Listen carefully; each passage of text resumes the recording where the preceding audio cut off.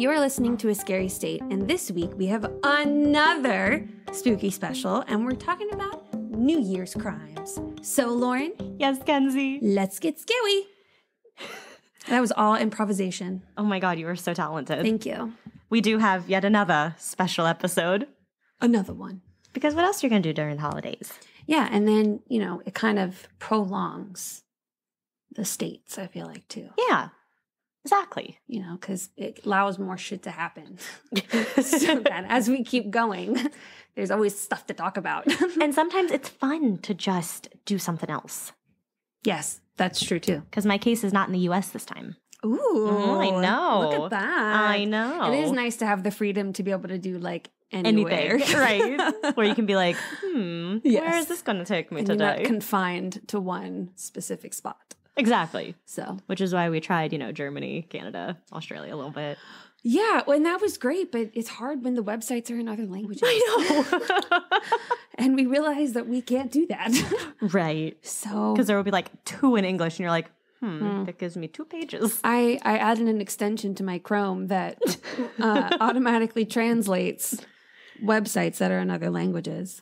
See, y'all, we're dedicated. Yeah, but not every website. Yeah. There are some websites you don't want to click into. Correct. So Also, I have so much candy in that bowl if you want some. That sunflower bowl is literally filled to the top with candy. Well, because for Christmas, everyone's like, here's some candy, here's some more candy. And then I got people candy, and then I had leftover candy because people at work didn't take more candy. And now it's just a whole bowl of candy. Mhm. This is too much for me. All right, Mackenzie, tell me about your Christmas. So I went to New Orleans, Ugh. like I usually do, because that's where my grandparents live and where my dad is from. So I feel like I am authentically a New Orleansian. As soon as we arrived, we went to an escape room. Like Ah, instantly. fun. Oh my god, and we killed it. How much time did you have left?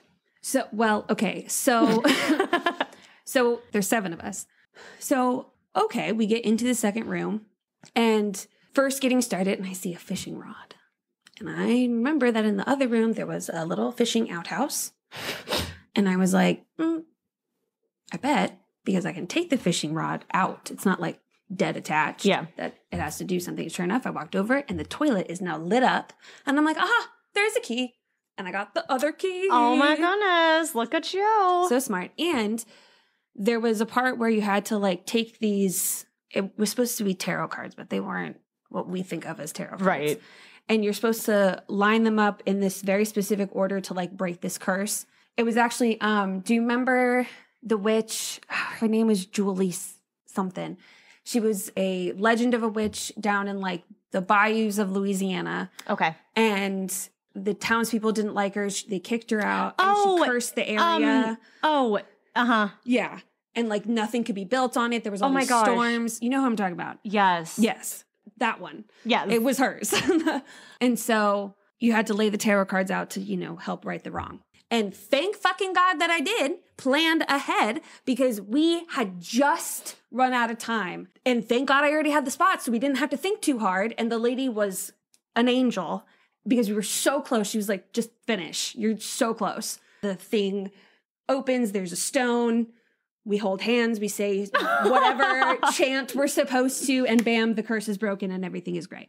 fun. So we technically ran out of time, but like we were only like a minute over. Ah. and really, without me, we You- never would have You would have failed. We never would have Never would have broken the curse. And after we went on what we called a food tour, Fun. and we went to different restaurants and had drinks and foods and oh my gosh. all sorts of yummy things. And um, that's when I went into that really old bar I sent you a picture of. yes. It's one of the oldest bars in the city, Tell people what it's called. the Napoleon. Nice. Pretty sure, 100% sure it's haunted.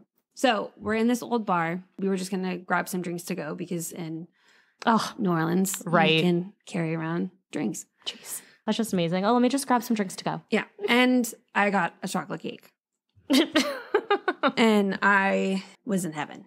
While we were waiting, we were kind of, me and my cousin's girlfriend were kind of peeking around, seeing what the whole place looked like. It was very, very cool. There was an open courtyard. They had all these old fold, old, blah, blah, blah, blah. I don't know what happened there. Short circuited. Um, yeah. It has old photos. I don't know why that's so hard to say. So we're standing in the courtyard and there's stairs.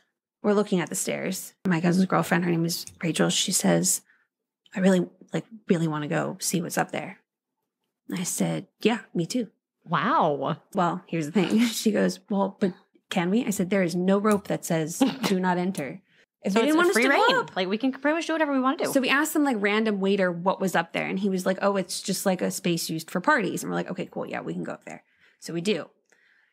It was a beautiful space, truly historic. But you walk into these rooms, and I'm like, all of it haunted, every single inch. Right now, we're not going to look in any mirrors. In fact, we walked by one, and it's like Rachel scared herself from her own reflection. it was my fault because I kept saying like, "Yep, this place is haunted for sure. It's haunted." oh, absolutely. I mean, even just your pictures made it. Did you're like, yeah. creepy? Yes. Like I took the picture and I'm like, it really does look beautiful when you're up there, but the picture Beautiful. it looks creepy as hell. Haunted.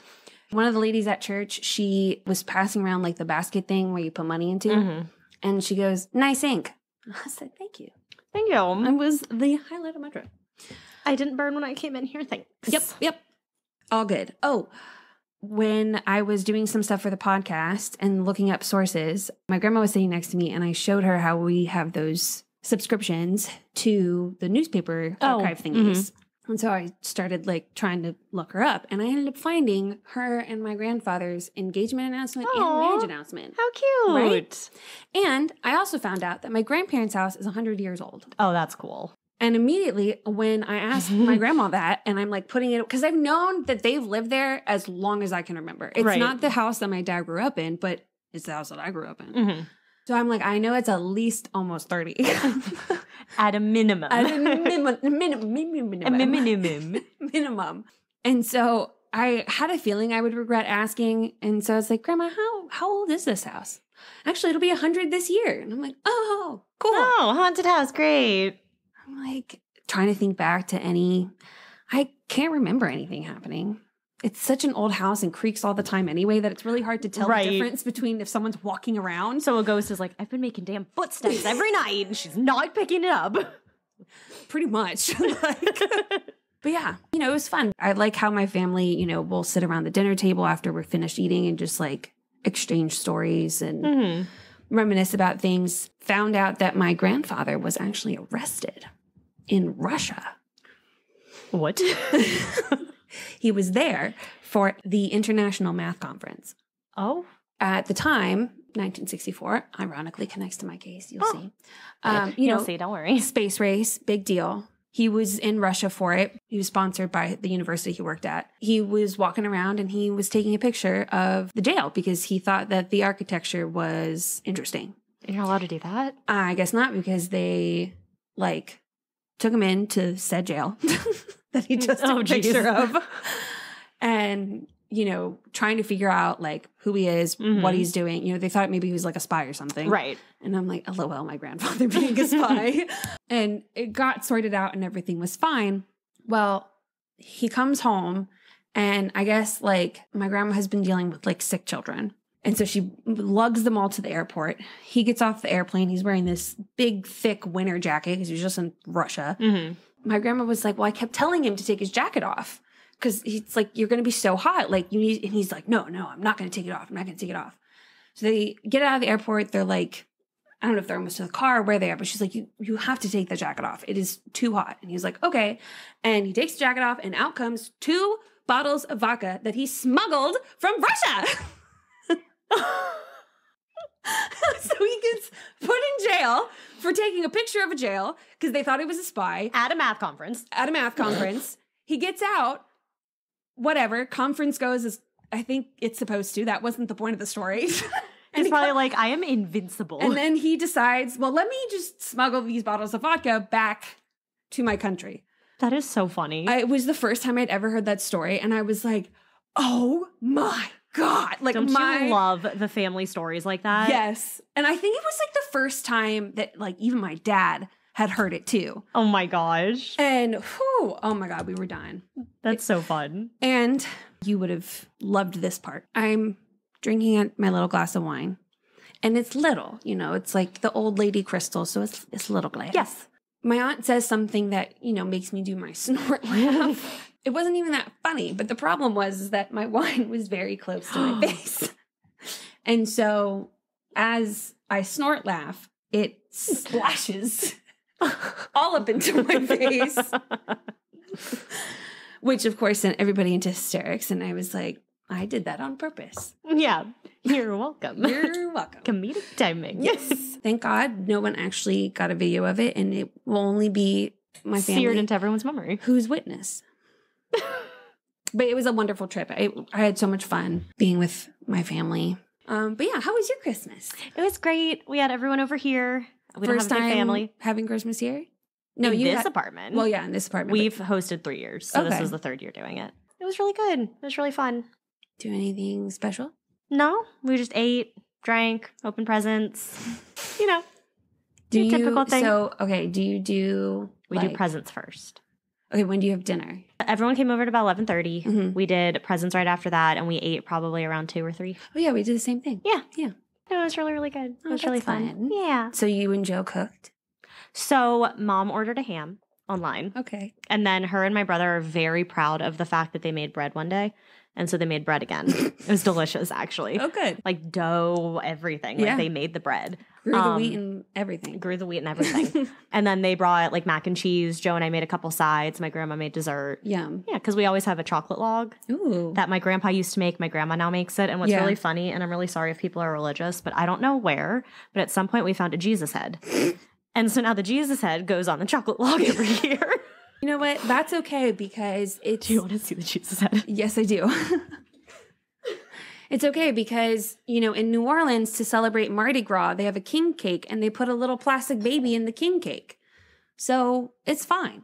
Jesus head. Oh my God, this is way bigger than I anticipated it to be. it is- definitely broke off of a Jesus body. This is an adult Jesus. Uh-huh, yeah, it's like a like a Jesus. We don't know where the body is. Don't know where we got the head, but now it goes on the cake every year. How long have you been putting it on the cake? Years. Years, very long time. I'm gonna go put him back so he's not sitting on this table as we talk about things. he will not approve. so do you have like a big Christmas Eve dinner too or no? nope. We used to go to my other grandma's house on Christmas Eve, but we didn't go this year. Mhm. So Joe and I just like chilled, watched TV. I edited a little bit. You know. yeah. But yeah, so it was really good. Yeah. It was a lot of fun. Oh, good. Yeah. Good, good, good. All right. So we've been talking about so should we jump into the oh, facts? yeah. Heads up. This is going to be long. Yeah. We got some pretty good cases coming up. We do. So it's worth the length that it'll turn out to be, which we don't even know yet. we never know until until I look at everything together and I'm like, oh God. But you know, these these ones are good. I don't even know what Lawrence is about, and I know that it's good. Oh, it is good.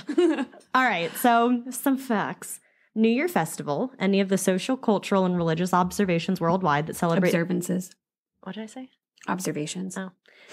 New Year festival, any of the social, cultural, and religious ob- observances. observances.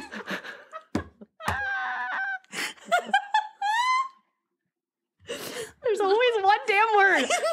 Observances worldwide that you go. celebrate the beginning of the new year are among the oldest and the most universally observed. The earliest known record of a New Year festival dates from around 2000 BCE in Mesopotamia, where in Babylonia, the new year, Akitu, began with the new moon after the spring equinox, mid March, and the Assyria with the mm-hmm. new moon nearest the autumn equinox, mid September. On the Roman Republican calendar, the year began on March 1st, a day before my birthday. Mm-hmm. But after 153 BCE, the official date was January 1st, which was continued in the Julian calendar of 46 BCE.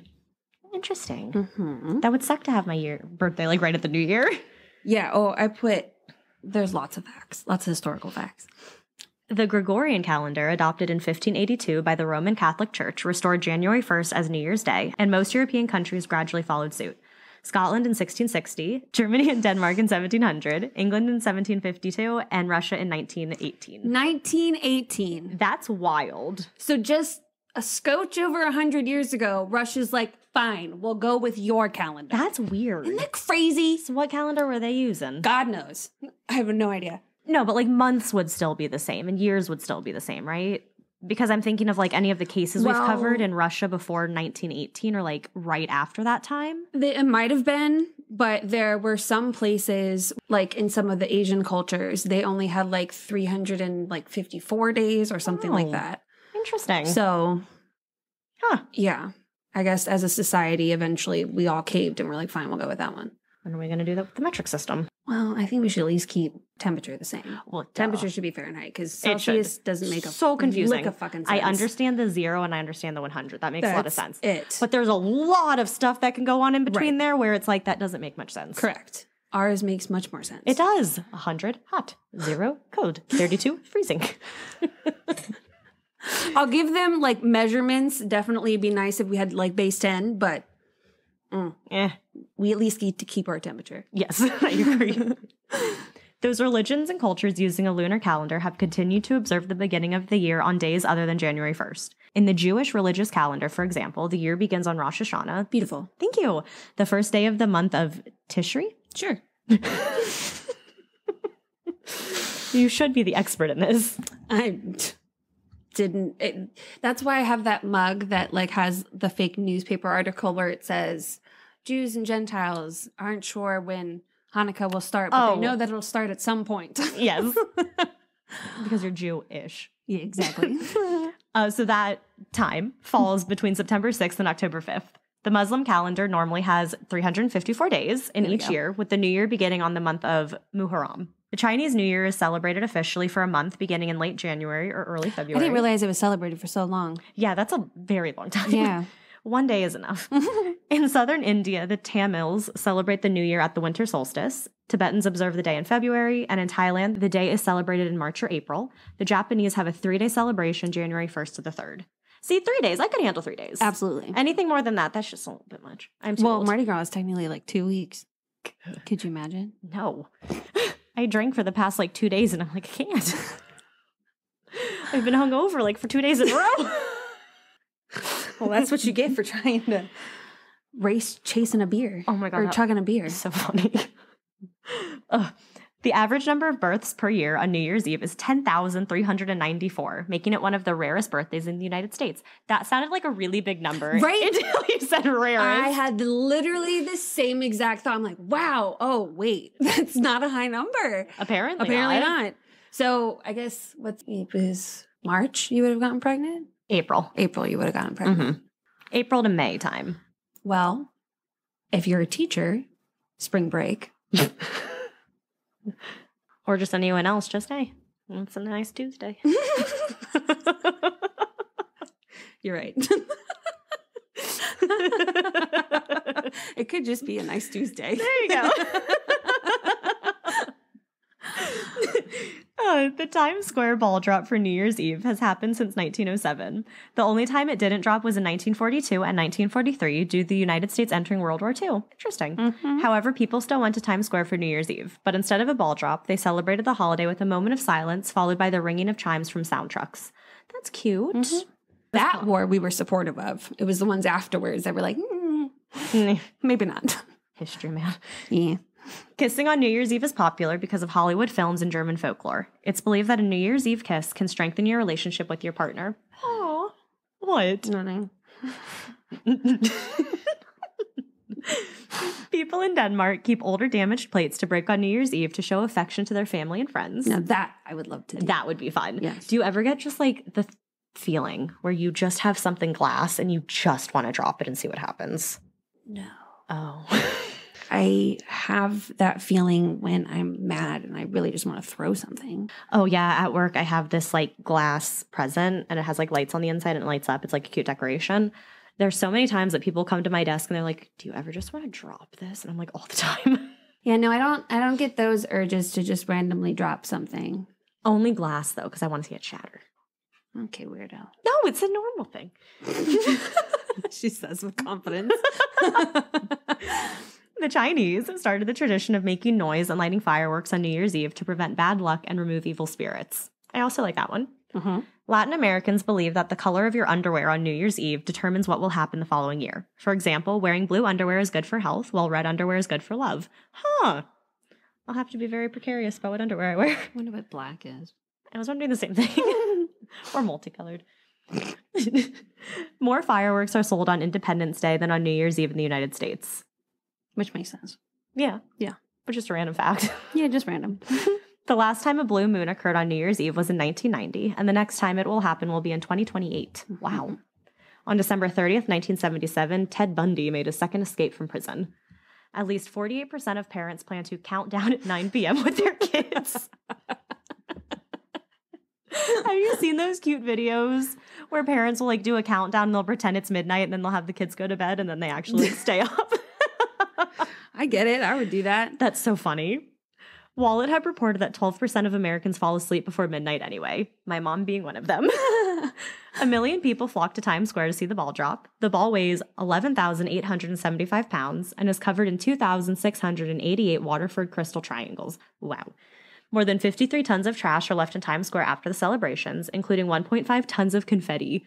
It takes 300 sanitation workers between 12 and 16 hours to clean it all up. Jeez. My uncle used to do the lights in the ball. really? Mm-hmm. That's so cool. Yeah, man. Did he have to do it like up high? I don't know. My mom has been the one to always tell me that fact. I've never asked him actually. Oh, that's cool. So So, randomly, another weird fact I read when I was deciding what story to cover was if you do your laundry on the first of the year, that's also a bad, like, that's a bad thing. Like, you should wait to do your laundry until January 2nd because it's mm-hmm. like doing it on the first is like you're washing away good luck and you're like washing away a family member, meaning that someone in your family will die. that's a bit intense. I don't know which culture it's from, but I was just thinking, well, that's not my belief. So if I wash laundry, okay. so it doesn't count for me. Right, exactly. I don't believe. yes, exactly. but wow, New Year's, man. New Year's, man. All right. What tea are you pouring? No. Yeah, Yeah. yeah. What tea are you pouring, Lauren? Yeah, there we go. I wanted to say today, but I realized that that wouldn't work. What tea are you pouring today, Lauren? not, not as much. That's not as much. I want to start off by saying I have a notepad and a pen. good because I apologize now and I will say it now. Okay. This case goes all over the place and I will answer any and all questions you have. Okay. I see you brought a notepad and a pen. Very smart. You might need it. Um, so when I first decided what I was gonna do, I saw this and I was like, oh, this sounds awesome. So I like started typing up stuff. And then I got to a paragraph in an article and I was like, this is the most controversial case in all of New Zealand. And I'm like, damn. but I was too far in to stop at that point. I had already been doing it for like a couple hours. I was like a lot of pages in. I was like, Can't get can't back out now. I gotta keep going. Yeah. So sorry if you're in New Zealand and you know this case. I have never heard of it before. So it is probably new to us in the US. Very well known in New Zealand. Yeah. Very So- much apologize. New Zealanders, you can skip ahead to my story. Or you can listen. or you can listen. Maybe you've never heard of it. Thank you. Um, but yeah, so I know we like to do cases that we don't always know, but I mean, we don't. we don't know this one. New Zealand is small. I feel like there's going to be many notorious things that happen. Yes. And with this one too, like I said, it's there's so much that goes into this. So this is kind of like your episode like 101. You know, like when you take a class in college, your 101 is just like a very base of everything. Mhm. This is a 101 of this case. Okay. if you want like a 201, go listen to other podcasts, YouTubes, things like that. Because we're just giving you a 101. 102 is only for people who take 101. Yeah, there you go. Okay, so Prerequisite. there. So this is your prerequisite. okay, wait, wait, wait. My first question though. Oh God. What's the last name situation going on in here? Is it going to be like the last one you did where there's a McLaren and a McClellan and a. yeah. Really? Yes. Oh my God. Shockingly, I know. Okay. All right. All right, I'm going to have to write these names down in their So- assigned job. Let me introduce the case. Okay. So this is the disappearance of Ben Smart and Olivia Hope. Okay. Oh, okay. Oh, wait. Oh, Olivia Pope. That's. I was thinking, I was like, isn't that someone famous? And it's it is, but it's Olivia Pope. But yeah, not who I'm talking about. Nope. Okay. So Ben Smart and Olivia Hope. Is Ben Smart related to Elizabeth Smart? See, I don't think so. but I was like, oh, that's that's smart last name. Yeah. All right. So it was New Year's Eve. Shocking that we're doing it for our New Year's crime. Um, not really, because that was the whole purpose. I need like a little squirt gun or something to just. Okay. All right. Ben Smart is 21 Mhm. and Olivia Hope 17 are two young New Zealanders. So they were planning on attending an all night party at Furneaux Lodge in mm-hmm. Endeavour Inlet in the Marl What's the girl's name again? Marlborough Sounds, Olivia Hope. Hope. So this is located at the northern part of the South Island of New Zealand. Okay. It was December 31st, 1997, and the two friends, Ben and Olivia, were ready to celebrate and welcome in the new year of 1998. Oh, are they not dating? No, they're just friends. Okay. So they're going to celebrate with 1,500 to 2,000 other partygoers. Damn. So this lodge where this thing's happening, huge party thing, obviously with that many people. I would hope so. Hope and Smart planned to meet up at the party, both arriving separately. So Hope arrived there with a group, including her sister, on a chartered yacht, the Tamarack. Well, it's because they're at an inlet. just so show up to a party on on a yacht. chartered yacht. She then traveled by water taxi to Endeavour Inlet, where the lodge was located.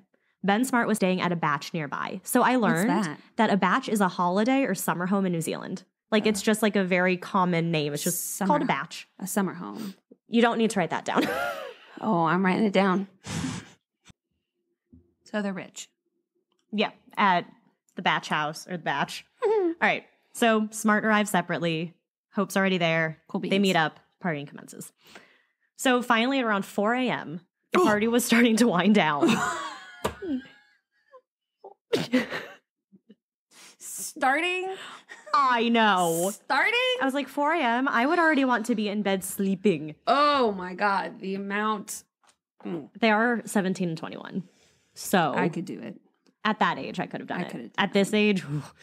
so the two headed back to the yacht, the Tamarack, where they intended to sleep for the night. So they arrived on board, and when they did so, they discovered that others had taken their booked place on the boat's berths. So a berth is a cabin. Okay. So someone had taken their spot that they had scheduled. Okay. So there's more than just them on the Yeah. the boat. Mhm. Okay. Yep. So I don't know what the two decided to do, but at that time, a water taxi being driven by bartender Guy Wallace, write that down. Okay. I need a new pen. Mine's running out of ink, even though I just got it. I'll give you a pen. Okay. I thought you were about to pull a pen out of the tree. No. Next to the tree.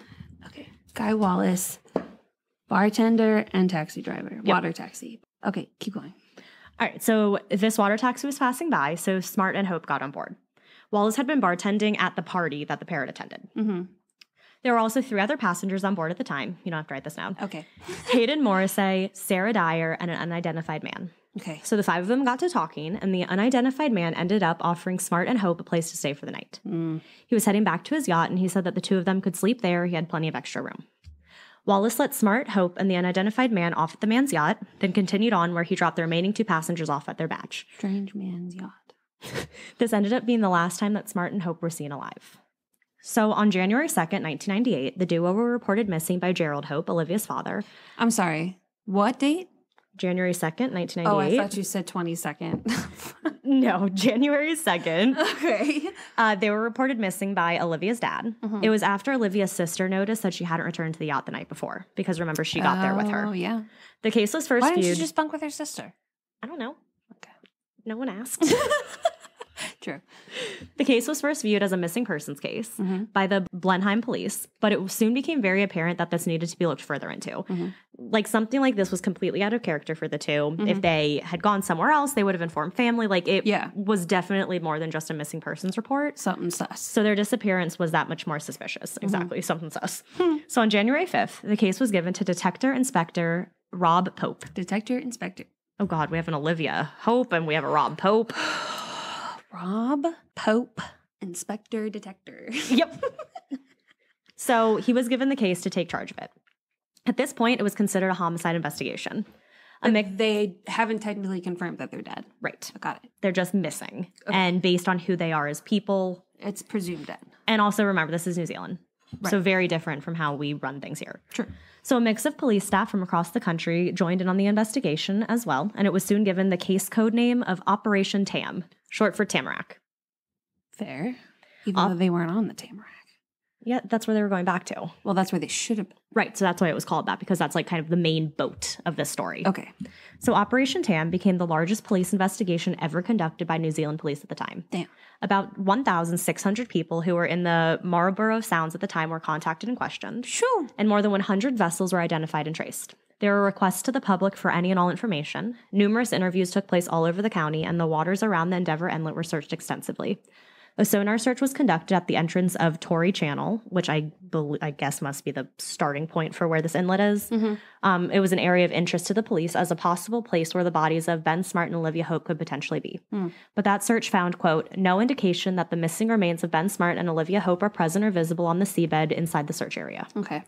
So nobody still kind of anything yet. not really knowing what they're doing. Yeah.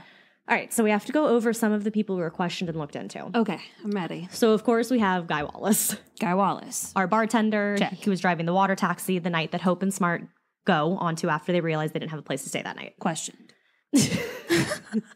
So Wallace was interviewed twice by police. Twice. Once on the 3rd of January and once on the 5th. Two. So I will say that some of the dates around this time get a little muddled just because Operation Tam started, like really kicked off on January 5th. That's when it Mhm. became the murder investigation. But it was like investigations were starting beforehand when it kind of was brought to the public, like brought to the police's attention on January 2nd. Okay. So in his statement to police, Wallace was able to describe the unidentified man who Hope and Smart left with. Okay. He said that the man, between 30 and 32 years old, had two days' growth on his face, possibly, That's hella specific. You know, some shadow of some How type. old is he? Uh, they believe he believes between 30 and 32. Hella specific. I know, I know. okay. Possibly arm tattoos. He had a wiry build, was 5'9, short, dark, wavy hair, scruffy in appearance, and was wearing a Levi shirt with jeans. Oh my god, is this your brother? Jesus. Oh my God.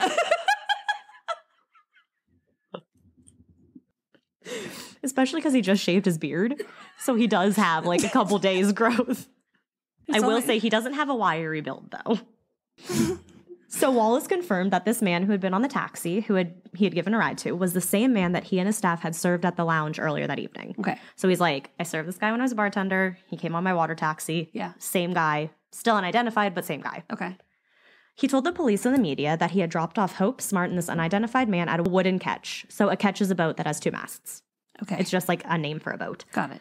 When he had his interviews with authorities on January 3rd, Wallace drew a sketch of the boat where he dropped the three off. So he drew a yacht with two masts, wrote, quote, 38 to 40 foot ketch, question mark, on the drawing, mm-hmm. and underlined the word ketch twice. Okay. So we're not sure if he's like questioning the ketch, if it was a ketch, if he was questioning the 38 to 40 foot length of it. Sure. But so that's what he wrote on the picture. Okay. He said that it was well maintained, built of timber with a thick blue stripe on the hull and several round portholes with brass surrounds. He said that it was rafted in a group between three to five other vessels. Okay. So it's in the water, it's near three other five three to five vessels. This is what it looks like. Mhm. Wallace seemed to provide us with a good amount of information on what this unidentified man looked like and what the boat looked like. Mm-hmm. Going off of this information, police analyzed thousands of vessels, talked to thousands of skippers, and looked at thousands of photos that had been taken on New Year's Eve. But even with all of that, they were unable to corroborate Wallace's reports of a ketch that had been on the inlet that night. So he had described what this boat was, but they have not had any way to verify that this boat was on the water. So this is where it gets a little odd. So on January 9th, police had interviewed a man named Scott Watson. Write that down. I'm writing. I'm writing. That's why we have Watson and Wallace. So I was like, gotta write this down. Jesus. Hope and Pope. My God. All right. During these interviews, photos of Watson have been taken. Okay. So I guess this had been the common practice that police use. They interview someone, they take pictures, okay. whoever they thought was connected to the case. So Wallace, the taxi driver, was mm-hmm. interviewed again on January 11th in a three and a half hour interview. Damn. He was shown photos of this Watson guy to mm-hmm. see if maybe he recognized the unidentified man, like trying to see if like is Watson this unidentified guy you remember on your boat. So Wallace took a look at the photo montages of this Watson guy and said that he didn't recognize anyone in the photos. Okay. The police then changed the photo of Watson to a different one in which he had his eyes half closed. That Watson did. Yeah, a picture of Watson with his eyes half closed. This photo became known as the blink photo because he's like sort of blinking, Blinking? so his eyes are half closed. Yeah. Yeah. So it gives his eyes a different appearance. So just fast forwarding a couple months to keep talking about this picture. So on Mhm. April 20th, 1998, Wallace was shown this new montage of photos. So with the blink photo. mm-hmm.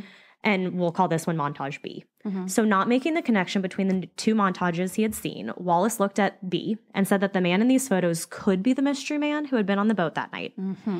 He said that, quote, the eyes were the same as the man he had seen on that night, referring to the hooded eyes that both men had. But he said that the mystery man had longer and bushier hair and had been unshaven. Okay. So, Oh, is How Watson- do you spell mystery? Watson was not unshaven. Watson was very clean shaven Okay. and kind of had not as bushy hair. So that's Got why it. this guy is saying like this mystery man though had longer hair, was bushy, Yeah, unshaven. yeah. So kind of the opposite of what this Watson guy was. Okay, so close, but not quite. Right. Rosalind Roz McNeilly, a bar manager who had also been working on New Year's Eve at the lodge, had sh- um, was shown pictures of Watson as well, mainly montage B, so the blank photo. Uh-huh. She identified him the same way that Wallace had. So pretty much saying like they look similar, but the guy, you know, this Watson guy didn't look like that. Like they had some differences. So back to January 12th, a vessel was seized by the police, but the one that was seized was a surprise to many. The vessel that was seized belonged to a man named Scott Watson. Scott. Yes. Have you been wrote down. saying that? Yeah. For some reason, I thought I heard Sam. Nope. Okay. Scott. Scott Watson. I wrote it down as Scott, so we're okay. Perfect. So he owned a sloop, which is a small square rigged sailing vessel. so these sloops usually will have one, two, or three masts. His specifically was named Blade. That's what he called it, and this is where he lived. Uh-huh. It was small, only about 26 feet, had a steel hull, not timber, had no portholes, no blue stripe, and only had one mast. Uh huh. So very different from the other one. The, so the I, description. Yes. So I even looked at a picture of a computer generated photo of what the ketch looked like, the one with the blue stripe, Mhm. and the actual photo of the blade. Mhm. They look nothing alike. Like nothing at Mm. all. Wallace later said that the only similarity between the ketch he described and the blade were that both they both float. So, no similarity. So, the news of this kind of ship that Wallace had explained had gotten out to the public. So, mm-hmm. even though a vessel had been seized, over the next few weeks, many calls came into the police of sightings of a two masted ketch in the Marlborough Sounds area. One of those calls coming from a former police officer with 40 years of experience. So, all very legit, Yeah. real calls. Credible people. Yes. A number of these witnesses said that after they called to report what they saw, they were told that their information was not wanted or their statements were just never followed up on. Figured it out. What? It's sus that the police are pushing this Watson guy Mm-hmm. because the both people are like it's close, but it's not quite. Keep that in your mind. I know I did. I wrote it down and underlined it and circled it. So, former detective Mike Chappell, you don't need to write his name, Okay. who had worked on this case, later confessed and claimed that officers were told to not follow up on any sightings that were reported of two mast ketches because they already had their vessel. Hmm Police did try to point to why they had this interest in the blade and why they seized it to kind of like prove, like, oh, this is why we're not looking at anything else. Yeah, yeah. So they said that they had this growing interest in Watson. The blade had been moored in the same area where Wallace claimed to have dropped off Smart and Hope, and there were no other witnesses to confirm the existence of another ketch. Okay. Mm, which was all not really true. No. So let's talk about Scott Watson. okay. So he's 27 years old. Mm-hmm.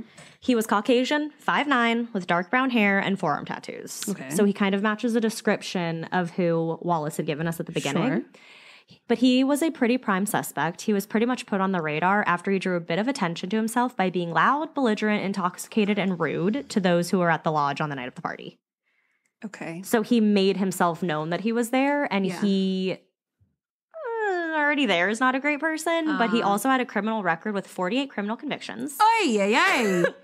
mainly from when he was a teenager. And these charges were for burglary, theft, cannabis offenses, two counts of possessing no, an cannabis is fuck. mm, but that- by then they don't count. two counts of possessing an offensive weapon and one for assault back when he was 16. So he also had a reputation of being an asshole, intimidating and threatening women. so he is a jerk, but not necessarily the, the jerk we're looking for.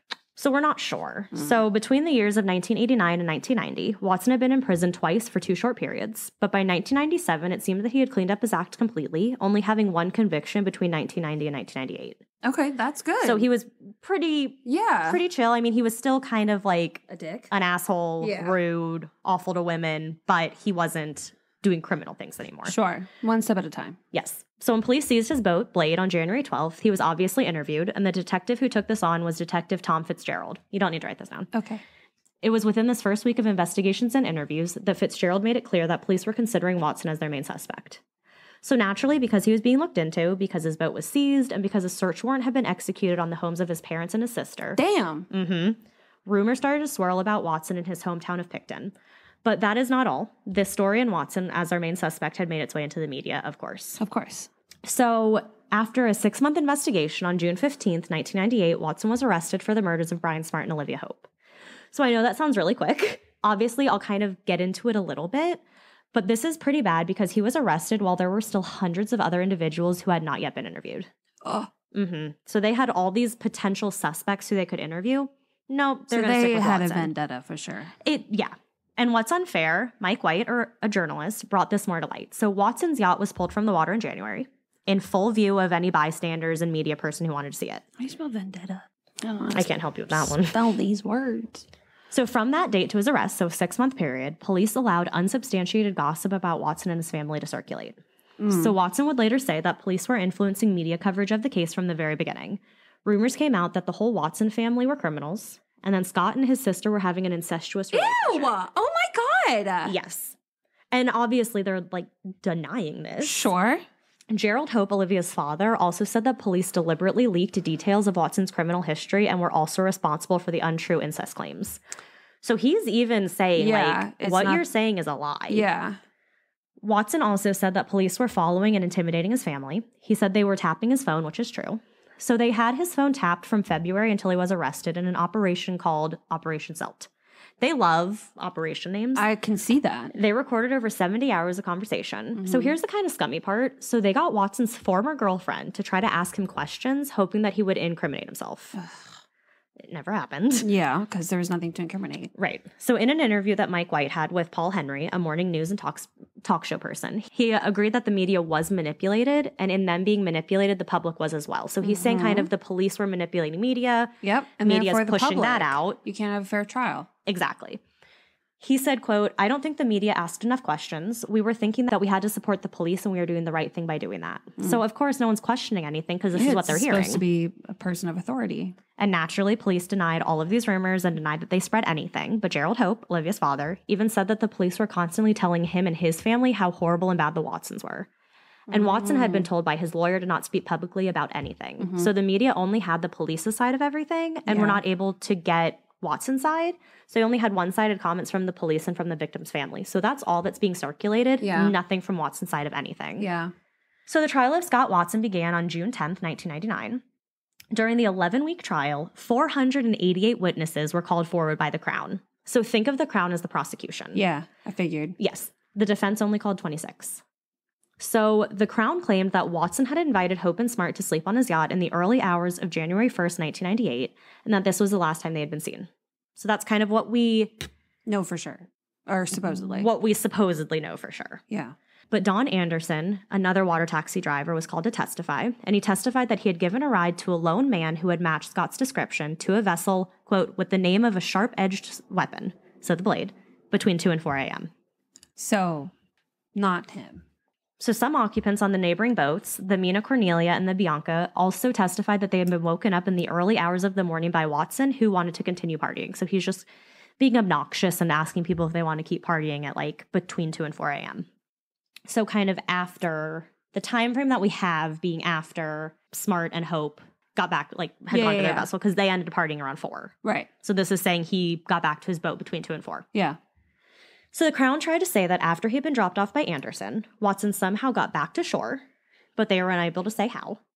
They said that after he returned to the shore, he then went back on Wallace's boat. So he got a ride from Tom An- or Don Anderson to his home. He somehow got back to the shore, and then he took the boat again with Wallace, and that's when he was this unidentified man. Okay. Make sense? Yeah. Did I explain that? Okay. Okay. I mean, it doesn't make sense, but it makes sense. Okay.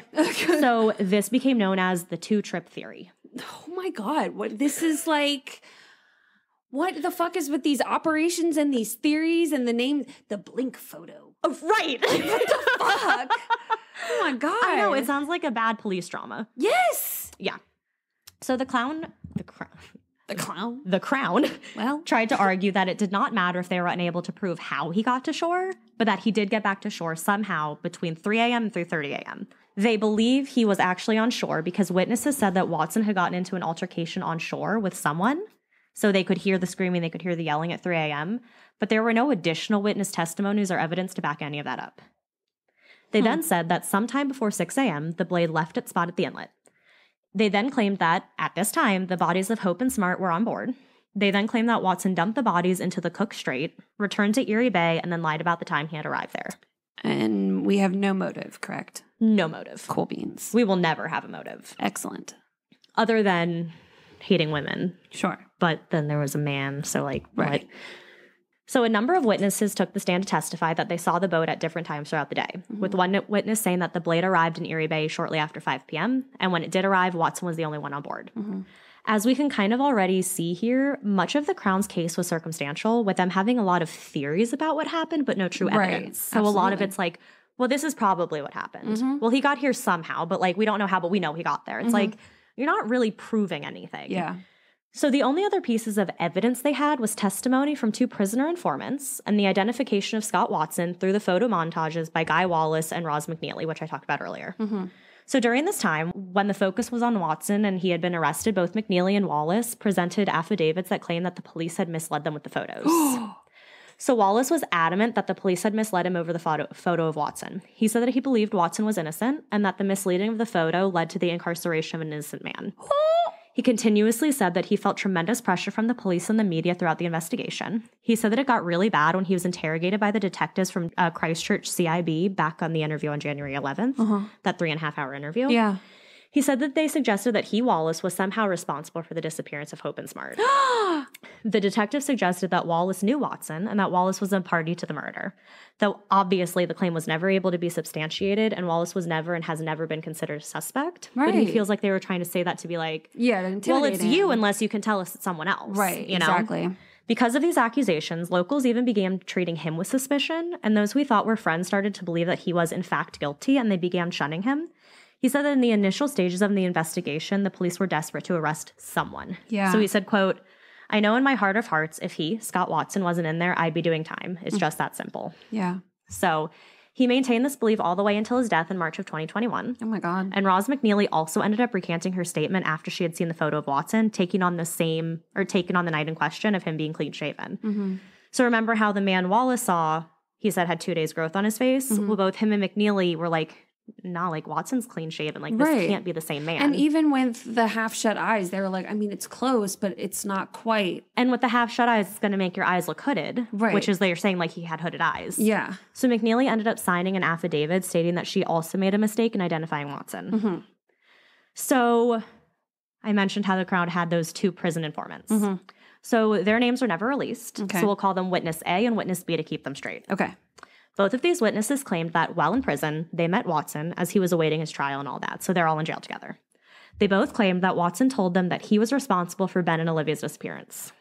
Uh huh. But later, Witness A admitted to a number of lawyers and the New Zealand Herald that he had lied in court. Mm. He said that he had lied because at the time he was receiving death threats from a gang member and he was coming up for parole. So he was going to do anything he needed to do to stay safe and get out on parole, like to please the authorities who would be I releasing him. He claimed that over a 12 month period, the period leading up to the trial, police visited him 10 times in prison, pressured him into making false accusations in his testimony. Witness A said that he, quote, chose to help the police in the hope they would be able to save him. oh my. Witness B said that he and Watson actually became good friends while they were in Abington prison as they interacted on numerous occasions. Well, in actuality, Witness B was never in the same cell as Watson, and quote had little opportunity to to develop any close relationship with Watson with Watch had little opportunity to develop any close relationship with Watson such that a confession might be made. So pretty much saying like they were never friends. Yeah, yeah, yeah. They were never friends to the point where Watson would be like, "Yo, I killed these two people." Right. It was later found out and revealed that on his release from prison, witness B was granted the use of a car and a cell phone for his testimony to police. so he was given all these rights if he testified. bribery. hmm These testimonies at the time were described as, quote, a bombshell of evidence, and that the testimonies had a dramatic impact on everyone in court. Though, as we can see now, they were obviously coerced confessions and not real or true information. So, Okay, questions up to this point? Anything I need to clarify? Well- Again, this is a one on one class. yes. and, and I've got the case set so far that Mhm. basically it's a whole bunch of hoopla. That's, yeah. um, And don't worry, there's more hoopla. well, yeah. And so I feel like my question is going to be answered, but later Mm-hmm. of like what happens Yes, with this. we will get to that in 101. Okay. So, so the crown didn't have any physical evidence, really. Like I said, no Right. fingerprints of the victims were found on Watson's boat. The only physical evidence that they were able to produce at the trial related to some human hair that had been found on the boat. Uh-huh. So the crown claimed that during the police's initial forensic investigation of the blade, they had found a blanket. A blanket? A blanket. Okay. This blanket had a number of human hairs on it, about 400. And I'm like, that's a lot of human hairs to have on a blanket. Sounds like dog hair. Right, like Roy's blanket, I bet doesn't even have 400 pieces of hair. The initial forensic examination isolated 11 of those hairs, hoping to test the DNA to see if it matched Olivia's, but none of them did. Samples of Olivia's hair were later obtained from Olivia's family home and sent to the laboratory. The blanket was then again examined, and this time, miraculously, two more blonde hairs were found on it that seemingly were overlooked the first time. Oh my God. Now they are literally, what is it? Not forging evidence, but Like planting? Kind Yeah. of. Kind of. yeah. So Susan Vintiner, a forensic biologist, testified and stated that through DNA testing, they confirmed that one of the hairs found matched Olivia Hope, or at least someone of her maternal bloodline, which wasn't a thing before. Mm-hmm. This mitochondrial DNA analysis of the hair was conducted in both Australia and the UK. So sounds pretty open and shut, right? Hair matching Olivia, we got this, we're good. Sure. Well, this is where it gets even more shady.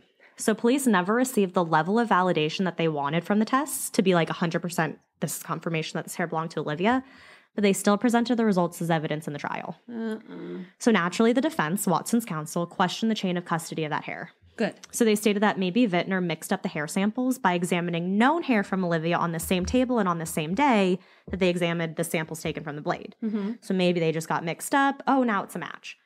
Especially because the actual hairs from Olivia's house were never counted. So there was no way to know, like, oh, we have five here and we still have five. Yeah. There's no way to know. So Yeah. maybe you had five and now, oh, you have four. What happened to that other one? You know what I mean? right. Right. So they also pointed out that there was a one centimeter hole in the evidence bag that contained Olivia's hair, which could add to the risk of contamination. Yeah. So Vintiner did testify that cross contamination is an explanation that needs to be considered. Uh-huh. So again, we're still not having any like solid like right. Like if I was on this evidence. jury and be like, okay, so he didn't do it. right.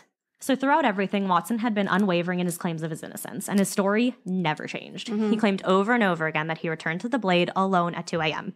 He slept, then departed the inlet in the blade at 7 a.m. the next morning.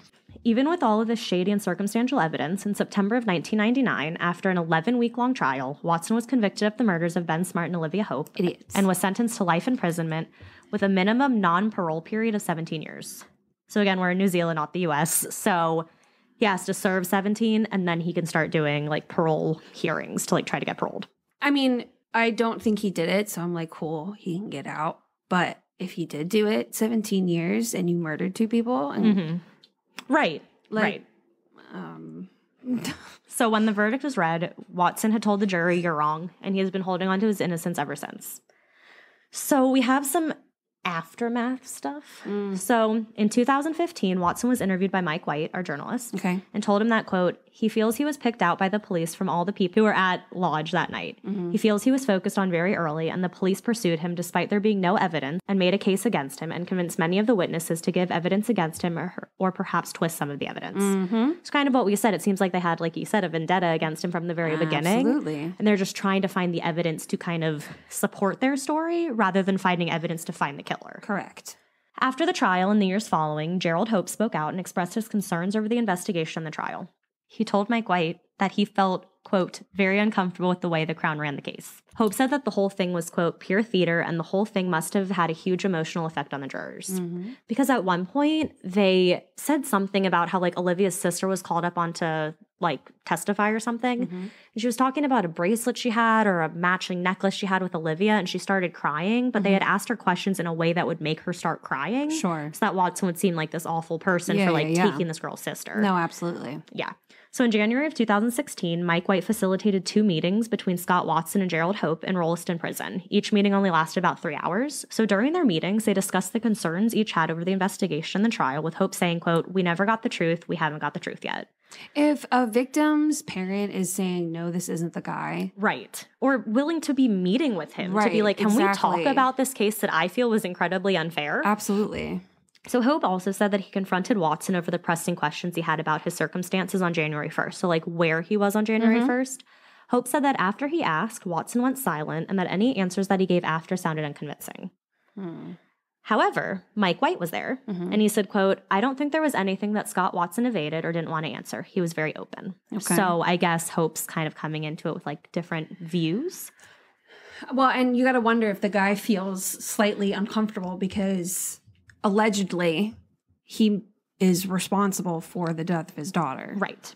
So, Mike White went on to add that Hope had doubts about the case for a long time and that Hope rejects crucial evidence that led to Watson's conviction. Okay. So, all around, we don't really know what's going on. Yeah. So, naturally, we have some appeals. The first two didn't lead anywhere. He tried, they didn't go through. But we have something interesting that came up in June of 2020. Oh. So in 2020, it was reported that Watson's case would be referred back to the Court of Appeals because of continuing concern about the reliability of the forensic testing used to show the two hairs found on the blanket belonging to Olivia. Mm-hmm. Obviously, because we had a lot of, Yes. you know. In May of 2022, the court agreed that when this hearing goes forward, Watson will be allowed to challenge if the eyewitness evidence related to the blink photo was properly obtained and should be heard by the jury at his trial. The week long hearing will take place in June of 2024. Ooh. Yeah, so that's still still ongoing. So then, back in 2010, I know this is kind of all over the place, but Yeah. these are just little things that were happening. So in 2010, Scott's father, Chris Watson, teamed up with journalist Keith Hunter to make a complaint to the Independent Police Conduct Authority, the Mhm. IPCA, about the police conduct in the case. Mhm. In their complaint, they said that the main inspector of the case, Rob Pope, ignored relevant evidence, spread rumors about Scott Watson and his family, swore false affidavits to obtain search warrants, and that the police bought or pressured two prisoners into telling lies in court, that they deliberately or accidentally contaminated the hair samples found in Watson's boat. So, majority of all the things we went over, which are all the ports where we were like, That doesn't doesn't, sound add right. up. obviously, this kind of report jabbed at and was being super critical of the work that Deputy Commissioner Rob Pope did. Mm-hmm. Duh. The report went on to say that the photograph montages that the police had used breached so many rules that it exposed the integrity of the investigation to justifiable criticism and to the drawing of interferences about intention and motivation. Ooh. The report also said that police failed to pursue all of the leads that came in to find the quote mystery ketch that uh, that was seen by many many witnesses. Some witnesses even believe they saw a woman who could be Olivia Hope on board of this mystery ketch, Yeah. meaning she was never on Watson's boat, Yeah. But those leads were never followed up on. So people even and they still said haven't found the bodies, right? Mm-mm. So people even said, I saw a woman on that mystery boat, Yeah. and I think that woman could be Olivia. And the police were like, meh, thanks for letting us know, like never following up on it. But as of August 13th, 2010, it was found that police did fall short in some areas of the investigation into the murders of Hope and Smart, that their mistakes did not have a significant bearing on the inquiry's outcome. But Keith Hunter and Chris Watson weren't okay with this answer, and they made their complaints known and heard, so the IPCA launched an inquiry into Investigation TAM. The IPCA found that the operation did fall short in three respects. They found that there were errors on the affidavits used to obtain search warrants and that they fell short of the high standard of accuracy needed for a warrant in the first place. Yeah. But they rejected that Mr. Pope, the investigator, had intended to mislead and found the errors did not strike the heart of the document. So, pretty much, they're saying that while there was an error, they know there was an error, they saw that there was an error. They're trying to say that Mr. Pope did not know that the document was inaccurate when he signed it. So, his mistake did not constitute misconduct or neglect of duty.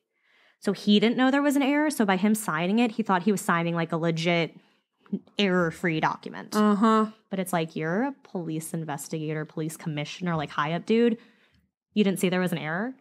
They also mm-hmm. found that it was highly undesirable for a member of the investigation team to give a suspect profile of Scott Watson to the community, and that it was highly undesirable how they made the photo montages and used that to show witnesses. So they're pretty much saying, yeah, by him telling the stuff about Scott and giving out his criminal history and talking about his family, that's highly undesirable. Right. It's also highly undesirable that they did this photo montage with the blink photo and that they showed that as like evidence. Yeah. But that's all they're saying. They're just, it's just highly undesirable. Justice Lowell Goddard, lead of the IPCA, said that it was a difficult inquiry and some action. No, it's not. It is so fucking obvious. It is extremely apparent. All of it is corrupt and fucked. It is not even like a question mark. It is so obvious. I know. So Goddard said, quote, some actions of police fell short of best practice and had the potential to influence witnesses. But in the end, Goddard said that where Operation TAM fell short had no significant bearing on the outcome of the- investigation. I can't stand stupid people. I know. That's why this case has been such a big, the most controversial case in New Zealand. It's almost like this is like one of those situations where sometimes, you know, when you're aggravated that a child has tried to lie to you, you might come back with, I don't know if I should be more insulted by the fact that you lied or you thought that I would believe that lie. Right. And that's if I was the people of New Zealand and that's what I would be given, I would feel so insulted that you thought I was that stupid Right. to believe that. hmm Like, So in June of 2015, Watson attended parole for the first time. Since then, he has appeared before the parole board four times, and each time his parole has been declined. So during one of the denials in 2016, the board pretty much said that they would not release him until he has had psychological treatment to address his risk of reoffending. So his risk is always is already assessed to be really high due to it being a murder conviction. Mm-hmm. But as of 2016, Watson still denies committing the murders. So he has refused to engage with corrections department psychologists. So his risk of reoffending has yet to be treated, meaning that if he's not able to be re like in he can't be reviewed pretty much. Mm-hmm. So because he can't re- be reviewed, his risk can't be reviewed, and if his risk can't be reviewed, he's always going to be considered high risk, and if he's always considered high risk, he will never be released. So it's kind of a really fucked up circle. But it's almost like I feel like if you go to the then you're kind of admitting that you did Yeah. it. Mhm. Yes, exactly. Which Yeah. is why he hasn't gone because he's like, I didn't do it. right, And he's held that since 1998. right, So it's been what, 25 years now? yeah. Yeah. Uh, his next hearing was scheduled for October 2023. So it just happened. But I Mhm. couldn't find any articles talking about anything. Like when you type in his name, it doesn't say like released or anything. So I assume that he has not been released. There was nothing I could find about it, but no articles popped up saying he was released. So I assume it didn't happen. Mm-hmm. So in March of 2021, Guy Wallace was found dead.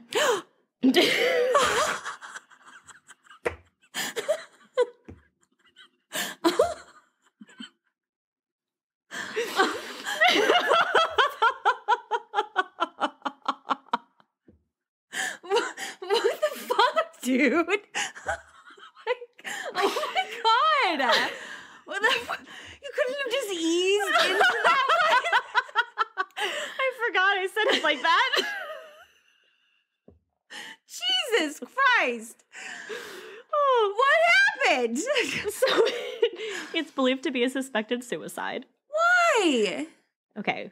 So, this suicider's death was just days before he was scheduled to stand trial for four counts of indecent assault on a girl under 16. Oh!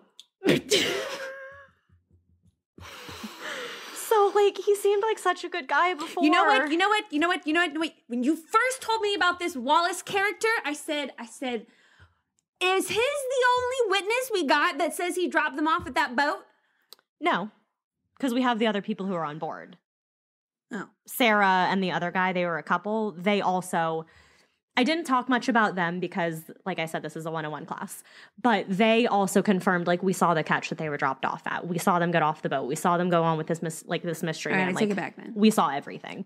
But so you think Wallace is like this great guy, and then I saw he was like, you know, suspected suicide. I was like, oh my God, just days before he was scheduled to stand trial. Oh my God. And then it was for these counts of like indecent assault. I was like, oh, dude. It's like, come on, man. I thought it was like because he was going to be pulled on trial for this case. And I was like, oh my God, like shit's going down. No, he's No. just now an awful guy. He's just a shitty person. So this is one of the few trials where someone received a murder conviction without a body being found, and the two bodies have never been found. This is, it's like, uh, again, I'm almost insulted that they really think that we would just be like, yeah, okay, checks out. right. So it's technically solved. Mm. But like one of the cases you had, I have my doubts. Where it's Oh gosh, solved. kind of It like is. that, but like a little, but slightly opposite. You'll see. You'll Okay. see. You'll see. You'll see. So I think the cops royally fucked up. oh, sure. A huh? lot of the stuff in this case doesn't it doesn't make sense. It's just not It's like them. They're really trying to push the fact that two plus two equals five. Like, and they're not letting up. No Yes. matter. You can show the manipulatives with four little squares. right. Two and two, 4 Mhm. not five. And nope, it's five. Yeah, so I feel like they rig- really pigeonholed themselves into only looking at Watson and refused to look at anyone else. Oh, like I sure. said, And they had all they this just stuff. Made it up. Right. Many people feel like this case didn't meet the threshold of beyond a reasonable doubt. Which There's so much doubt. right. There's a ton of doubt in this one. like I feel like not saying that the US is better, but I'm saying if it had happened in the US, I think things would have gone a lot differently because of all the circumstantial evidence that they had. I feel like juries here would be like, mm, I don't feel comfortable saying that he 100% did it. Even though we have had a lot And- of fucked up cases here, but yeah, because I wonder, like, I just wonder how their court systems work because it is different from ours, but it sounds Well, like s- sort of and similar. if if the entire island is under this influence of this media, right. So then you're not ready. Yeah, They're going in based on what they've heard, and like you said, it was only one sided, right. and so they probably already have an idea in their mind. And so when the prosecution is presenting this case, it's what is that? Confirmation bias. Right. And so it's just confirming what they already went in They're like, to oh. I heard the media say that. Yeah, yeah, this is like, right. you know, going on that. This and is then corroborating my you, stuff. You just well, they're just saying that because they don't want to get caught. Right. Yep. So apparently, a local prevailing theory from when the case for, first broke was that drug smuggling boats were moored in the same area, and that Smart and Hope were somehow caught up with individuals who then sailed into the Pacific. One self proclaimed investigative group even went on to claim that they have photo evidence of Olivia alone on board a drug smuggling ship just days before she was reported missing. But again, that's just kind of like the local circulating theory. But either way, I feel like the families of Hope and Smart never really got the answers they deserve No. and may never know the full truth of what actually happened. So, like I said, this was just scratching the surface of this case. There are so I can't believe many. this is considered just scratching. there are, I know, there are so many documentaries, books, YouTube series, interviews, podcasts, TV shows, like everything Yeah. literally about this case. And if you want to go down a rabbit hole, which I almost did until you were coming over in 30 minutes and I had to stop, it's very easy to happen. so there's literally no way I would have been able to include everything in this episode. But yeah, I hope I did a good enough job to That- kind I mean- tell you what went on. I feel like I was given all the information satisfactorily to make an opinion. Yes, that's how I feel too. Yeah, I feel like And- this was a great introduction 101 class. Thank you. And there's really so much I didn't go into, like the more interviews of the two other people who were on the boat Yeah. when they were driven back, and like just so many other people much who I couldn't touch on Yeah, because then this would be like a four part episode and we don't do that. correct. So, but yeah, I just feel, and he, I think, I again wasn't able to look into it, but I think part of his case is being looked into by the Innocence Project. Okay. And what they do is they, I guess they can be international, right? yeah, Okay. yeah. So they look into cases of people and they're like, this one definitely like something's going on here. But yeah, so this is the wild That's murder crazy. disappearance of Ben Smart and Olivia Hope. It's not quite as confusing as I anticipated. Okay, good. Because when I first read this and I was doing my notes and I was like, okay, I got this. And then I read the one where it was really controversial. I looked at Joe, I said, do you think I can do this in today and Wednesday? And he goes, yeah, yeah, you got this. I said, cool. So he's watching the football game. I'm doing my research. And then I get like, you know, halfway into it and I was like, No, no. no. Oh, no. but I was like, I'm already too far into it that I can't turn back now. committed. So you're just gonna keep going. No. I think you did a great job. I was I was not confused this time around. Oh, good. Um, because people's I mean, yes, people's names were similar, don't get me wrong. Very similar. But it really wasn't like the other one where it was like really they all were the same person. Same person, just one letter difference. That was confusing. But yeah, so I think we're on the same page as everyone else where I can't say he's 100% innocent, but I also can't say he's 100% guilty. Uh, there is reasonable doubt. Very much reasonable doubt. There's Yep. hundred percent reasonable doubt. Yep. Yeah. So, Yeah. Well, damn, girl. I know. Good one. Thank you. Very intriguing. Very intriguing. So yeah, if you want to find out more, there's more. there is more out there. Love it. Love it. All right, Mackenzie, what have you got for New Year's crimes? Okay, so mine is technically unsolved, but pretty much everyone who investigated, reported about it, is confident they know who is responsible. So like your other one, Which one? Rhonda. Yes, but more so Oh. because there was actually someone who went to trial for it. Oh. The Egan's were known for their life of crime long before they were murdered on New Year's Eve, 1964. In fact, many believe that their criminal lifestyle is what led to their untimely demise. Okay. So 1964 wasn't a bad year, despite the escalating Vietnam conflict and people still Mm. mourning over the assassination of JFK. Kennedy's goal of space travel had advanced in January when the unmanned Apollo craft attained Earth's orbit. The Beatles were taking America by storm with three appearances on The Ed Sullivan Show. Wow. The Ford Mustang was introduced. Martin Luther King Jr. won the Nobel Peace Prize. The St. Louis Cardinals won the World Series against the New York Yankees. Nikita Khrushchev fell from power in the Soviet Union, and LBJ won his own term after having inherited the Kennedy presidency, What a year. defeating Republican Barry Goldwater.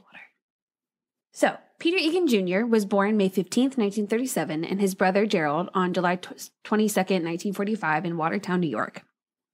The Egan boys were not set up for success from the start. Both of their parents, Peter Sr. and Leona, were known as the town drunks. Oh. They stayed out late and spent most of their income on alcohol. It's not hard to believe that Peter Jr. and Gerald grew up to be troublemakers themselves. Peter had his first arrest at age 13 for stealing a car, and that was only the beginning. 13? Uh-huh. Stealing a car? Uh-huh. Gerald followed his older brother around and soon picked up all the tricks. Gerald was more sociable than Peter, and he's remembered as being the class clown. I'm sorry, which one's older? Peter. Okay. In 1956, Peter decided to head out west and was there for about eight months before deciding to hitch- hitchhike back to Watertown. On February 17th, 1957, the car he was riding in went off the road and crashed. Oh no. Peter was ejected and suffered fractures in both legs, his shoulders, and his back. Oh my god. He spent three weeks in the hospital in Humboldt, Nevada, before being transferred to Syracuse, New York by train. By the time he reached Watertown's Mercy Hospital, gangrene had developed and he was forced to amputate his left leg above the knee on March 11th, 1957. Jeez. Well, I mean, think about it. Usually you're like airlifted to a nearby hospital. They're like, oh, we're going to Yeah. put you on a train across the country. Yeah. Yeah, you're not going to feel great. Mode of transportation. Jeez. So Peter was on crutches with a wooden stump where his leg used to be. Oh, But this didn't hold him back. He was just as aggressive and fearless as he was before, and he never backed down from a fight. Peter and his brother were described as, quote, nothing but thieves. When somebody saw Gerald, they'd say, There goes that goddamn Egan gang. jeez. Some would even say that Gerald was a bigger thief than his older brother. But a local, Bud Davis, said, quote, he, always, he was always there with his crippled brother, and Peter could run faster with one leg than most people can with two. Gerald was Pete's legs. Peter would usually send Gerald in to do his dirty work while he sat in the car. Barbara Ann Vout was the complete opposite of the Egan brothers. She was popular in school, a well liked cheerleader, and she had a promising future. She played saxophone in the school band and was a member of the library club. Oh, She worked a part time job as a store clerk at W.T. Grant Department Store.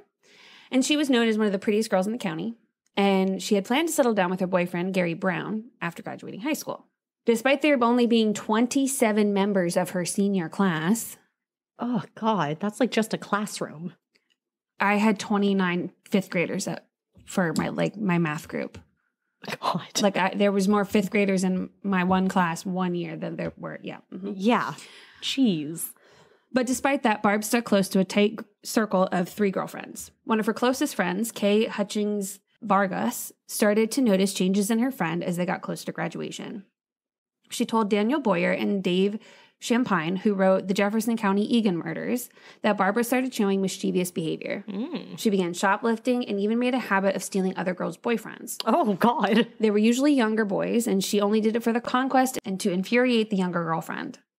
And so I guess she's not with her boyfriend at this point? Mm. Oh. Mhm. Okay. As soon as she could prove that she could seduce a boy away from his girlfriend, she would dump them. Oh my God. Her bad streak was only fueled when she met Peter Egan at a YMCA dance in Watertown. Peter was three years older than Barbara and the town's bad boy. Mm. Barbara broke things off with Gary, who was devastated by the breakup, and began spending all her time with Peter and his friends. He would even go with Barbara to her school dances. Do we know why she all of a sudden just started to have this bad streak?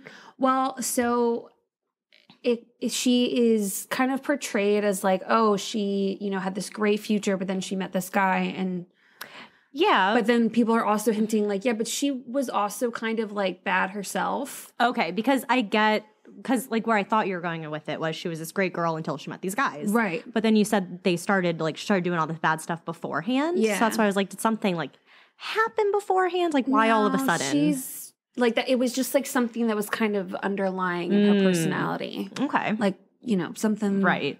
And it was, she didn't start shoplifting, I think, until senior year. The whole boyfriend thing, the girl Kay said that they've been doing it since they were freshmen in high school. Oh. So, Wow. yeah. Okay. Um, so yeah, she was just, she was nice, but there was just like, mm, you can kind of be a little mean.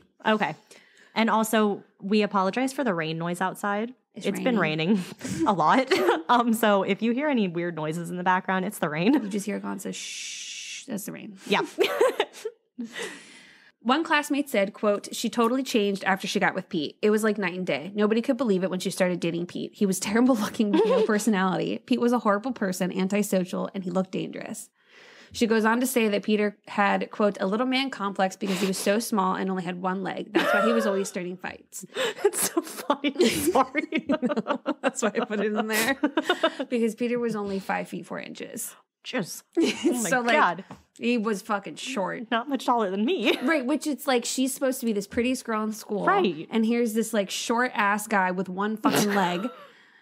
And it's like, oh They're awful, so we can we can laugh. right. And I get like, ooh, the bad boy. The bad boy, You know? Like I understand that. But like it was like her little bit of bad Mm-hmm. then just became big bad. Right. Big bad. Like she probably could have like been if she was with okay. the like a good guy, good friend, if she she'd could have been with- good. if she had stayed with Jerry, Bad company. you know, she would have Mhm. been all right. But now that she goes to Pete, Right. she ain't all right. So Kay would cover for her friend and would lie to Barbara's parents that Barb was with her when she was really with Peter. Kay believed that if she didn't lie for her, she would have found a way to sneak to Pete regardless. Okay. Eventually, Barbara's parents did found out, but that surely did not stop Barbara from seeing Pete. Barb knew it was wrong, but that's what made her sneak out to see him in the first place. Right. Kay reminisced about how Barb would use her when she needed to borrow a car. And when Kay had to go out of town for her grandmother's funeral, Barb had, quote, borrowed her steady boyfriend. oh my god. Yeah. Kay told Boyer and Shampine, quote, I'm not sure what I could have done to save her from her tragic ending. As the 1958 school year was coming to a close, Barbara was no longer associating with her friends. She spent most of her time with Peter's gang, and despite her parents' protests, the two were married in July 1958. In 1959, Pete and Barbara had their first son together, followed by the second in 1961, and the youngest about a year later. Oh my god.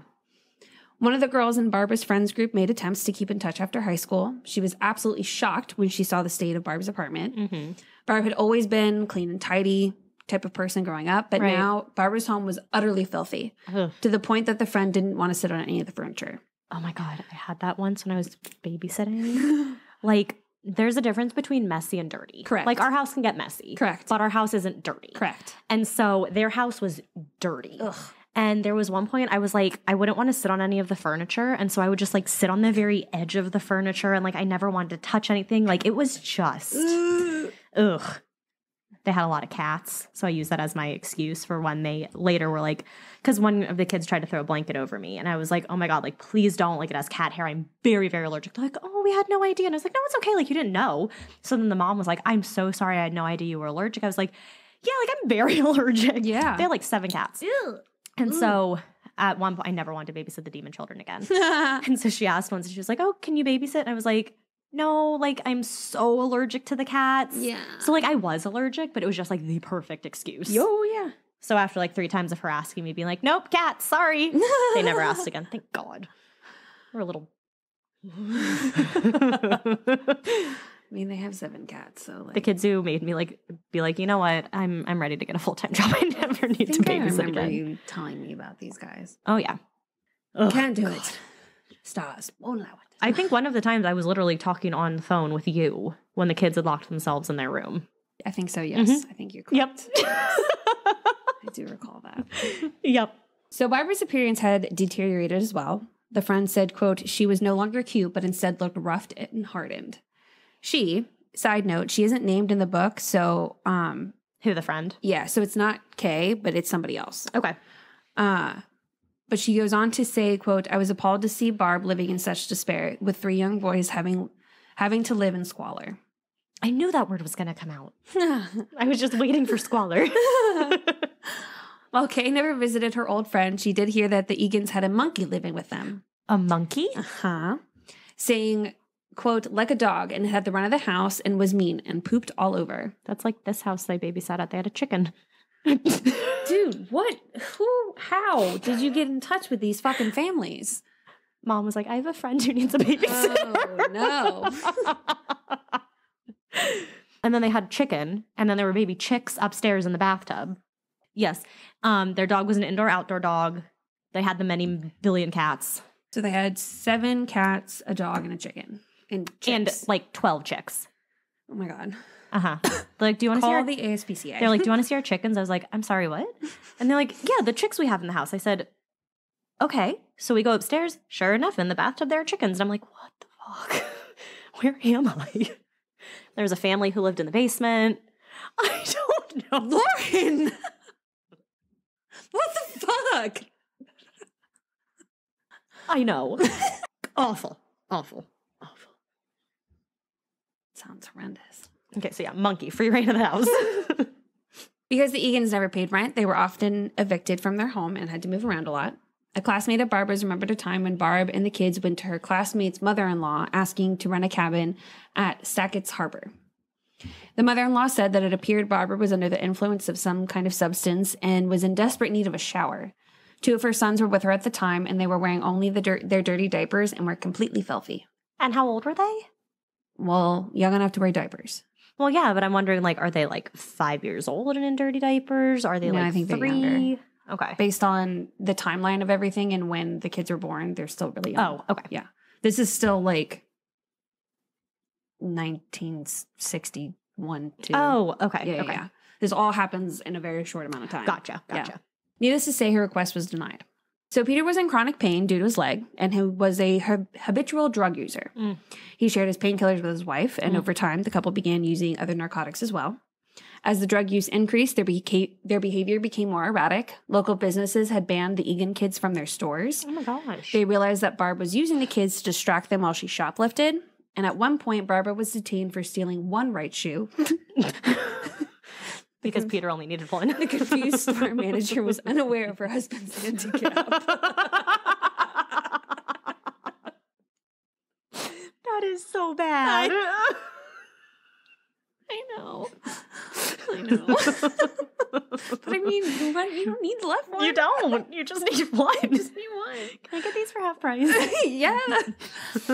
Oh Lord. Um in April of 1962, Barbara and Peter were involved in a high-speed chase with police when they when the pair narrowly missed hitting two police officers. oh my god. About seven miles into the chase, the officers could see that the male driver and the, his female companion had switched places.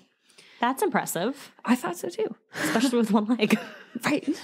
The car eventually crashed into a utility pole, but no injuries were reported. The police found 21 year old Barbara in the driver's seat and her 24 year old husband Peter on the passenger side. Pete has had a suspended license, so the couple often did this Mm-hmm. if needed so that Peter wouldn't be charged with driving with a suspended license. Right. And which foot did he lose? Okay, so left. So Left. right. Okay. Mhm. So he can still Right. drive. Right.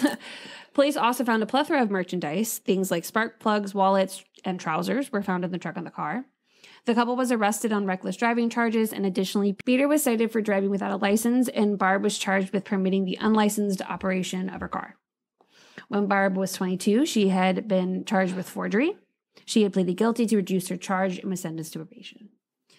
So, married 1958. This is 1962, so four years. Jeez. This has all occurred. God. Yeah. Barbara told Kay's mother, uh, Anna Mae Hutchings, that she felt trapped in her marriage. Kay recalled, quote, My mom would tell me Barbara would, st- would stop in to see her. She told my mom she feared for her life and was unable to break away from Pete. Barb felt close to my mom, so she would confess her true feelings and fears to her. Barbara's brother, Stephen Vout, conveyed in a brief telephone interview, quote, She just got caught up in it and she couldn't get out. Regarding Peter Egan, Vout remarked, quote, He was crazy, he was no good, and his brother wasn't much better. One source I found reported that Peter would keep Barb high or drunk most of the time and was regularly ab- abusive to her. Jeez. Peter, of course, also had his fair share of charges and jail time. He would typically spend a few weeks behind bars for anything from drunk driving to assault. Barb would stand outside his usual cell and talk to him from the street, shouting through the fence. At one point, Barb returned to sex work with Peter as her pimp. He would set her up with Johns, and if he deemed the situation okay, he'd give her the green light. Peter's police record grew to 13 arrests, Oh and gosh. he became under suspicion of being the leader of a burglary ring. When I was first typing this, I almost said ringleader of a burglary ring, but then I realized I can't do that. That's more fun though. oh, I have one that a little fun little rhyme coming up later. Of course you do. In the days preceding the New Year's Eve of 1964, residents and establishments in Watertown experienced an unprecedented wave of burglaries. The once tight knit community where everyone knows everyone suddenly lost its sense of security, compelling people to lock their doors for the first time. Oh wow. Speculation circulated that Peter and Gerald Egan were behind the criminal activities, yet law enforcement lacked sufficient evidence to formally charge them. A bunch of misfit individuals were suspected of being part of the burglary ring. All of them were criminals and typically did the jobs together. James Pickett was always up to something, constantly on the lookout for a good opportunity. He had a family, and his friendly personality made people comfortable around him. He didn't seem like your average crook. Willard Belcher, a 49 year old who occasionally worked as a truck driver, discovered that robbing was a more profitable venture. In his younger days, he spent time in the boxing ring under the name Kid Kelly. Willard's wife, Bertha, who was 20 years his senior, Ooh. was a powerful presence. Sounds like it. Mhm. You know what I what? I don't know if this is appropriate to keep in, but When I first read it, I immediately thought of the movie Norbit. Oh. Big presence. Yes. Oh, yeah. Powerful. The couple tied the knot in October. Who, Bertha and her 20 year younger person? Yeah, Willard. So the couple tied the knot in October 1948, and by all standards, they were an unusual pair. Bertha had previous brushes with the law, including suspicion of bootlegging and running a disorderly house, which was a term used for operating a brothel. Yup. In Watertown, Bertha ran her own cleaning business, and she would use her job to scope out the best houses to rob. She would ti tip off the crew about the locations of valuables inside her client's house. Following her instructions, they would break in, execute a quick burglary, and split the mo- loot among themselves. Occasionally, they would bring in young teenagers for extra help and paying them in cash. During her visits with Anna Mae, Barbara learned when the Hutchings would be heading to Florida for extended vacations. During these times, their home would be burglarized more than once, and police, of course, suspected that it was the Egans. Jeez. Then there was Joe Leone, a childhood friend of Peter Egan. Growing up just a couple houses apart on Duffy Street, Joe was the complete opposite of awkward Pete. Popular and thriving on his family's reputation, Joe's dad, Anthony, was a boxing champion known as Kid Sullivan. Everyone in Watertown knew the Leones, and all the kids wanted to be friends with Joe. Smooth and clean cut, Joe Leone could charm his way out of any situation. Working as a truck driver for Wonder Bread, he was known for giving kids free donuts and treats. Yum. At 39, Joe was a divorcee living in a townhouse with his girlfriend, Beth Johnson, seemingly leading a quiet life. However, this outwardly polite and refined gentleman was not as he appeared. Joe Leone played a significant role in the burglary ring. Too many R's. alongside Pete and Gerald Egan. So the Egans were receiving welfare benefits, which seemed to be their only visible income. They did make some good money with their burglar jobs, but Pete spent it as quickly as they made it. Mm-hmm. Pete would buy rounds of drinks at the bars and constantly loan money to friends. Barbara supposedly complained about her husband's frivolous spending and said if he had all the money that he loaned out to people, he would have like four or five thousand dollars. Oh my gosh. For then would have been a lot of money. For now, that's a lot of money. Right. Well, despite this extra income, they still didn't pay rent. Oh my gosh. Hey, I mean, if you've been going so far without paying rent, why start now? Eh, right. Pete's desperation for money was sending him into a tailspin. He even robbed the house of Joe Leone's parents on Duffy Street, a brazen act of disrespect. He stole more than $700 in cash, as well as Joe's mother's diamond ring, which was a treasured family heirloom. Wow. The Leones had known him since he was a kid, living right down the road, making this burglary particularly shocking. Joe's father, aware of the Egan boys' involvement, was furious. He met with Joe, urging him to straighten out his friends. Joe spread the word among their close associates about Pete's poor judgment and vowed to address the situation before the year ended. Meanwhile, Pete and Gerald faced scrutiny not only within their circle of bandits, but also from the FBI. Oh. Gerald had traded an old Jeep for a stolen 62 Chevy convertible, making it a federal crime as the stolen car crossed state lines. Gerald took the car to a local farmer for repairs, but the farmer, sensing something was sus, It's the word of the day. Sus. sus, alerted the authorities, leading the FBI to surveillance the Egans. So after Christmas in 1964, Pete and Gerald faced an uneasy atmosphere at their regular hangout at Red Moon Diner on Lower Court Street. In addition to the Leone burglary, they stole $1,000 from another associate, Joseph Gonski, who issued a serious threat against Pete.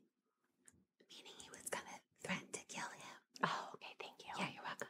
That's what a serious threat means. Exactly. Okay. Okay. Amid rumors of a hit on Pete's life,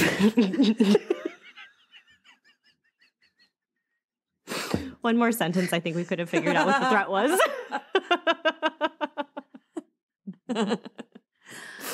Am- amid, he became increasingly anxious. On December 31st, Pete spent most of the day at Red Moon Diner, moved around to various locations, visibly nervous. At Windmill Cafe Bar, he expressed the need for a shotgun, revealing the burglary that weighed on his conscience, oh, jeez. but he was unsuccessful. Despite failed attempts to secure a firearm, Pete was given a proposal from his friend, James Pickett, at Rotary Gas Station. Pickett suggested a job for the night, hijacking a truck carrying $16,000 worth of liquor to Canada. Jeez. Pete was to assist and earn $1,000 quickly, potentially resolving the threat against him. Gerald, playing pinball at, a, at the gas station, was reluctant to join due to a prior engagement. However, Pete insisted on his little brother's participation, and the plan was to return to Watertown before midnight, with Pete inviting others to join a New Year's party at Watertown Bowl.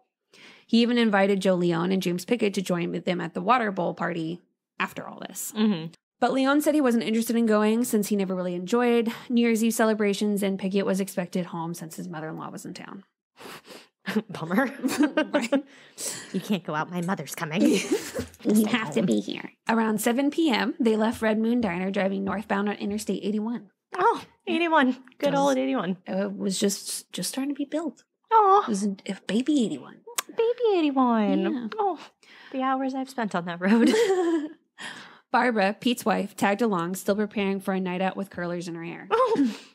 They dropped the kids off at friends' houses to stay the night so they could party big. Mm-hmm. Barbie even took the family dog, a Pekingese named Queenie, along for the ride. Oh. They made a stop at Green's Gas on Broadley Street to purchase supplies before heading out of town. They bought beers, Coke, Coca-Cola. Seamless.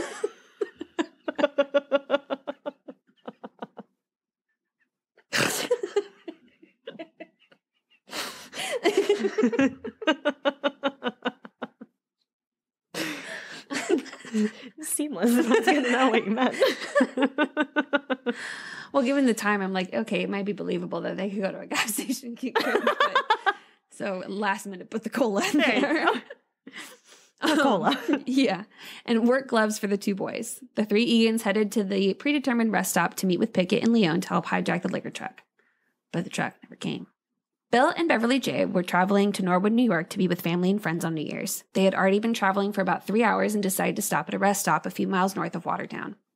They pulled into the rest area around 9:20 p.m. and parked behind a blue 1955 Mercury station wagon. Okay, so this sentence is going to sound weird, but I don't care. Bill left the car running and Beverly in the car while he tended to nature's call.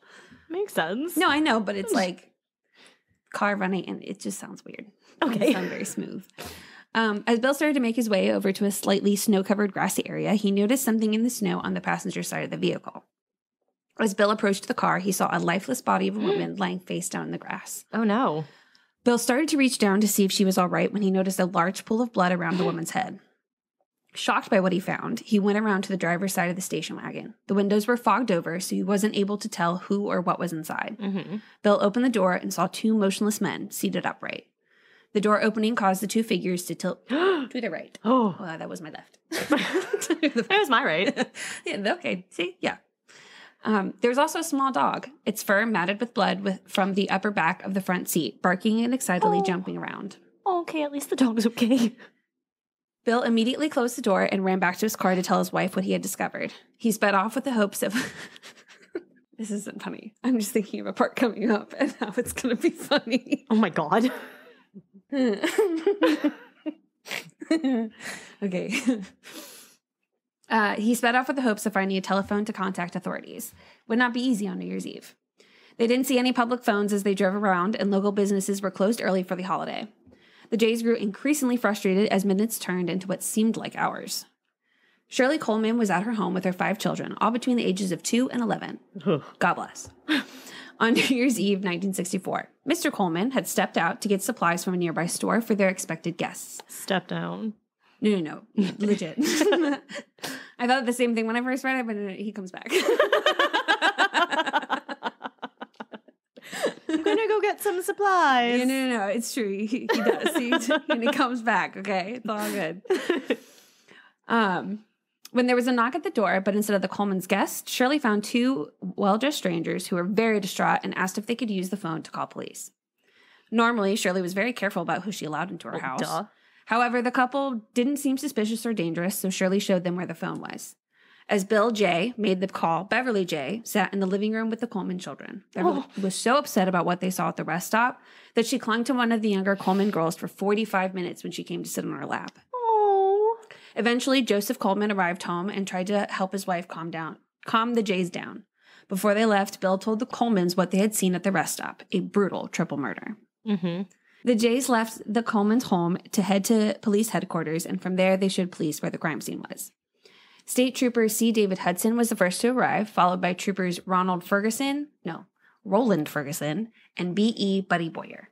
What a name. Wow. when the troopers confirmed to headquarters that they were at a major crime scene, they called in Lieutenant Thomas Nulty, the Watertown Zone State Command, State Police Commander. At the time, the lieutenant was hosting a small gathering to ring in the new year. When the call came, the entire party completely dispersed. As more calls were made to various sheriffs, detectives, and troopers, New Year's Eve parties across the area were ending abruptly. The investigators found the woman wearing Kelly green stretch pants with a darker green imitation suede coat and only a single snow boot. Her hair was in curlers, and initial examination showed at least one bullet to the head. When they went to open the door, they found the small Pekingese crouched on top of the front seat's backrest. Her paws were resting on the shoulder of one of the slumped over victims. Oh. The dog didn't want to be removed from its owner Oh. and had to be distracted in order for investigators to carry on investigating. What? Investigators to carry on investigating. That was really good. You're really clever. Thanks. uh, the men were in darker winter jackets, sports shirts, and trousers. The victim in the passenger seat was leaning across a wooden leg strapped to the stump of his left thigh. The victims were well known to authorities, and it didn't take them long to identify 24 year old Barbara Egan, her husband, 27 year old Peter Egan Jr., and his brother, 19 year old Gerald Egan. 19. 19. Jeez. The Colemans never saw the Jays again, but would later hear a news report about the identities of the victims. They recognized one of the names, Barbara Egan, who was the daughter of Raymond Vout, who was a colleague of Mr. Coleman at Northrop Motors. The news of the murders made headlines that night, and the Egan's mother, Leona, was in a bar when she heard the news about her sons. Hmm. People who were there say they will never forget the cries of a mother losing her son. Oh. Sons. Sons. Sons. Sons. Multiple plural. Yeah. This the crime scene was oddly silent and it took place on the relatively new I-81, still under construction in some areas. On New Year's Eve, when festivities were in full swing, few cars had taken that route.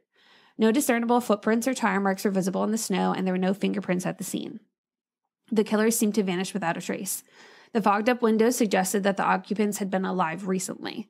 And Mm-hmm. Inside the vehicle, Peter and Gerald were found in the front seat, both shot in the head. Bullet trajectories and holes in the windshield supported the theory of a targeted attack. Mm. Two 25 caliber bullet casings were discovered behind the front seats. Gerald had been shot in the left temple and neck, and Peter received two shots in his ear. Oh. Uh, Barbara's body was found outside, shot in the head. Signs indicated she had attempted to escape, but was overpowered and dragged back to the car by her hair. Oh. Barbara's autopsy revealed bruising and signs of a struggle, suggesting that she fought her attacker. Unfortunately, she had no chances against bullets, and the killer killers had employed two different weapons: a 25 caliber pistol for the brothers and a 38 for Barbara. Nine Okay. nine shots were fired, with six hitting the victims. The crime scene indicated a brutal execution, reminiscent of gangland style killings. What's interesting too is the dog wasn't hit. Yeah. Yeah. The investigation revealed the Egan brothers had stopped at Green's Gas before the incident, buying two pairs of gloves. Only one pair was found in the car, leading police to believe finding the missing gloves would lead to the killer. Why are you laughing? The Egan's dog, Queenie, could have been a potential witness, but sadly she was adopted by the brothers' aunt and later met an unfortunate end. She got hit by a car. Mackenzie! I know, because Here I am. Oh, thank God she didn't get hit by the bullets. And that's when you started laughing. And I was like, what happened? so you can well imagine that I was like, oh, I was I was reading this story is sitting in my grandparents' living room. So like there's family members around and I'm reading it and I'm like, oh, thank God. My, my dad was like, what? I was like, the dog doesn't die. so it's good. It's fine. Reading a couple sentences later, I'm like, they're like, what? Is everything okay? I was like, the dog died. That's so sad. Yeah. The Egan children were taken to a rehabilitation facility due to neglect, and their Oh, whereabouts remained. I know. Their whereabouts remained unknown after being moved out of state for protection, and we have no idea. Like that's it. That's all we know about them. Oh, wow. A joint funeral was held, emphasizing the brutality of the killings, despite the victim's shady reputation. Speculation arose that the triple murder was linked to the victim's involvement in illegal activities such as gambling or drugs. Mm-hmm. An unnamed witness implicated the Egans in numerous burglaries, shedding light on their criminal, criminal activities. Although the murders remained unsolved, the spike in burglaries in Watertown ceased after the killings, revealing the Egan brothers as the culprits behind the city's crime wave. The Watertown Times reported the end of the burglary wave following the Egans' murders, and witnesses came forward attributing many burglaries to the Egans. The police, though yet to solve the murders, were successful in solving other crimes. So, this is a quote from the Watertown Times. One beneficial result of the Egan murders is the abrupt end to numerous burglaries which have been a thorn in the side of authorities for months. The Egans were the mainspring of the burglary wave, and they had become expert in carrying out their program successfully until they came up against the wrong person or persons, suspected by the authorities of being identified with small time rackets. Mm. The information obtained from a young informant also uncovered a planned liquor truck hi- hijacking with James Pickett Oh yeah. with James Pickett allegedly putting the Egan brothers onto it. Pickett, facing legal consequences, eventually cooperated eh, and revealed Joe Leone as the possible orchestrator of the ambush, claiming Leone had threatened Pete Egan earlier for stealing from his family. Additionally, Leone felt that the brothers knew too much about him and would possibly expose him. Pickett said Leone believed that he had to get rid of them for good. Pickett found it odd that when he informed Leone about the murders on January 1st, that Leone appeared genuinely surprised, as if it was news to him. Mm-hmm. Despite the widespread knowledge of the incident in Watertown, Leone claimed ignorance, stating that he and his girlfriend Beth spent New Year's at home without watching the news. However, in the following days, Leone allegedly confessed to Pickett and implicated Willard Belcher as his accomplice. Mm-hmm. Although the story was compelling, the police needed more evidence to charge Leone. By May of 1965, five months after the murders, Leone, along with Willard and Bertha Belcher, and police informer James Pickett became prime suspects. Suspects. During police questioning, Leone denied involvement but showed signs of deception during a polygraph test. Ooh. However, suspicion alone was insufficient for charges. Mm-hmm. To build a case, police placed a bug in the Belcher home, but discovered explicit phone conversations rather than evidence related to the murders. it took three years for enough evidence to emerge for the arrest of Joe Leone in connection with the Egan murders. Three years. Mm-hmm. Damn. During the interrogation, Leone remained completely composed. He, he was even balancing a nickel to demonstrate his calm demeanor. Oh my god. Bertha Belcher, age 71, was arrested alongside Leone, with Pickett claiming that Bertha orchestrated the killings. Willard Belcher faced murder charges, but was declared criminally insane, preventing his trial. Ooh. He was already in jail for something else and then got charged for this. And then all of a sudden, he had some insanity rule. They don't go into what happened, why he was considered insane, but that was it for him. He got the insanity ruling and was like, okay, well, Dang. yeah. So, despite facing serious charges, Bertha resumed her cleaning business after release and even helped Leona, the Egan brothers' mother, when she faced legal trouble. Leone's bail was set to 75,000, which he could not pay, leading to two years in county jail before his trial in January 1970. During the trial, District Attorney Bill McCluskey faced the challenge of presenting a primarily circumstantial case. Yes, circumstantial cases. Mm-hmm. Pickett's testimony played a crucial role describing how Leone orchestrated the murders. The prosecution portrayed Leone as the lone killer using two handguns never recovered. Despite changing his story 40 years later, Pickett testified against Leone in court. He claimed Joe Leone and Willard Belcher drove out on 81 the, that night in Joe's girlfriend's car. They parked behind the Egan's bakery and Joe got in the back seat. Willard Belcher was tasked with removing Barbara from the car and managed to do so. They walked a short distance away when Barbara heard gunshots and headed back to the car where she found her husband and brother in law had been killed. She tried to run towards the highway. Leone fired three shots from the car and missed. Then he got out of the car, cut up with her, overpowering her, and she was shot and her body was dragged closer to the car out of sight from passing motorists. Prosecutor McCluskey, his opening statement said, quote, the killers ran Barbara off, but she returned. She knew death was coming and she tried to run. Leone chased her, caught her, and she was thrown to the ground. Barbara Egan put her arms around Leone's knee and begged for her life. That's when Leone shot her in the head. Later on, before his death, James Pickett would claim that Barb was told to actually drive Beth's car for about 10 minutes or so, and then she returned to find her husband and brother in law murdered. Mm-hmm. So that was the big change. Right. Leone pleaded not guilty, and his defense sought to suppress polygraph evidence, questioning the lack of fingerprints inside Egan's car during winter. Mm-hmm. Leone's girlfriend, Beth Johnson, supported his alibi, claiming that he had been home by 7 p.m. on New Year's Eve, although she had previously told police that when Leone came home that night, there were spots on his jacket. Mm. After an acquittal on April 5th, 1970, Leone walked free. Rumors circulated about threats to jurors, but no evidence was found. They claimed a man in a foreign accent called the home of four jurors and allegedly said, quote, if Joe Leone is found guilty, you are dead. Oh. So the case remained closed and the files are sealed with the belief that Leone was guilty based on street justice. Mm-hmm. Despite extensive searches for murder weapons, they were never recovered. And Pickett suggested the weapons might be hidden at the gang's hangout, the Rotary gas station, which at this point I believe is no longer there. Yeah, I doubt it. Leone chose to leave the case behind, moving to Tennessee, then Kentucky, and eventually settling in South Carolina. Joe Leone has passed away, and this case will never officially see a conviction. Yup. However, some sources claim that Leone, Leone did confess to the killings later on. Oh, like I would love a deathbed confession. Right? Authors Daniel Boyer and Dave Shampine, touring North Country for their book, offer a unique perspective on Watertown's crime of the century.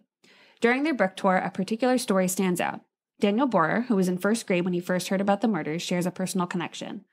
For over a year, he eagerly awaited the local Wonder Bread truck driver each week, who generously gave him free donuts. One day, the familiar driver stopped coming and a new one took over.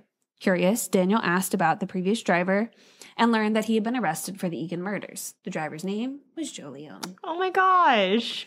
And that is the Jefferson County Egan murders. Dang. So, not solved, but everyone's like, this yeah. guy did it. But solved. But solved. yeah. Yeah. I hate those cases. Right. so, it's, you know, everyone knows who did it for both of ours, but mine Right. never got con- The right person probably was on trial Right. and didn't get convicted. Jeez. Yeah. Well, because so like for Bertha's arrest, she now it changed to like accomplice Oh. because if because of her husband's like insanity plea, so like his oh, interesting. part like doesn't count. That's really interesting. So it kind of like, in a way, clears her. Yeah. And so what that also meant was that they couldn't use any of the recorded conversations, Mhm. which it didn't sound Mm. like there was really much of anything, but they couldn't use it anyway. And they did get the polygraph suppressed. Right. So like the results of that couldn't be talked about. and also, that's never like, it's not admissible in court, anyways. Right, exactly. So this is kind of one of those things where it's like, yeah, well, we all know he did it. Right. So, but it was just also interesting that the life of crime that they led before. Yeah. In such a short amount of time, too. Yeah, this literally happened in the span of six years. and when you were like, you know, at the one point when they were getting chased by the cops, and you're like, oh, yeah, she was 21. Mm-hmm. You're 21, ma'am. Yep. You have three children. Yes. You're 21, and you have lived a hardened criminal life already. Yes. Jeez. Absolutely. So, Interesting. yeah, not good people. Not good people. By not good people. I feel the worst for the dog I also feel the worst for the dog and the children. and the children. Yes. yeah, I hope because there's really nothing else on the kids. So I just hope that They probably, you know, names were changed, pushed out. well, and they would have been really little, really little. and so hopefully they don't have a lot of memory of things. right. Maybe the oldest one might have some. The squalor. Yeah, and hopefully they're okay. Wow.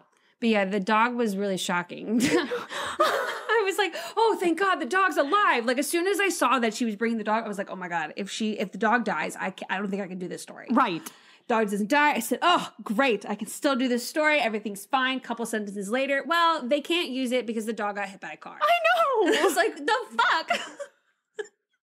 That's a little piece of information I didn't need to know. On one of the in the the book that is published, I could I could get access to like the first hundred pages or so on Google because I, I was not gonna I didn't want to buy it. No, yeah, absolutely not. um, and they have pictures, and they have a picture of the dog, and Is then it a cute dog? yeah, it's like What kind of dog was that again? a Pekingese, so it's like a small little fluffy dog. Oh. But like the caption underneath the picture is like uh Queenie before she was hit by a car. like or something like just so Oh my god. I have to find it. It's like it's so aggressive. Oh, not this one. And sorry for the bleep, everyone. I had to plug my computer in. Oh, I didn't even I didn't even hear it. Ah, okay, yeah. Queenie, the only survivor in the Egan triple homicide, was struck and killed by a car two weeks later. Oh my god. That's a dog. Yeah. But like the caption is just so aggressive. it really is. like, oh, okay. And you know they probably had to add that because so many people were like, "How's the dog doing? How is the dog?" Well, because they said that like the investigators thought, well, if we find the person, we can bring the dog around, and if it freaks out, then you know that is some sort of cooperation Right. or whatever Cooperation. corroboration. Um, but they couldn't because she was Oh hit by my a car. yeah, That's truly tragic. guns don't kill people. Cars, Cars do. kill. oh, nicely done. Thank you, thank you. We hope everyone had a good holiday, however you chose to celebrate it. We hope you have a good New Year's, however you choose to celebrate it. Yes, safe and wonderful New Year's. Yep. And And we're bringing in happiness and joy and health and everything good into the new year. Yeah, and hold on tight, my fellow sad friends. the time is is getting longer. We have passed. We've passed the, The- shortest day of the year. Yep. Time is literally only going up from here. Yep. Daylight is increasing. Yep. As soon as these fucking clouds go away, Yeah. stupid goddamn rain, it, has been awful lately. It just makes the sad sadder.